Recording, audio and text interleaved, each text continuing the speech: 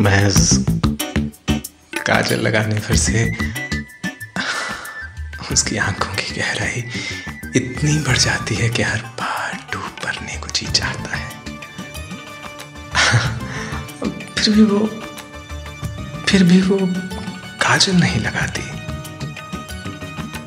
कहती है कि आँसू टूटेंगे, प्रेम बह जाएगा।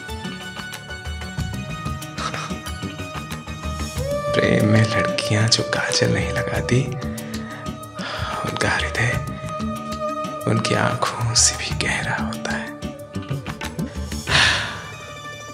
है ना?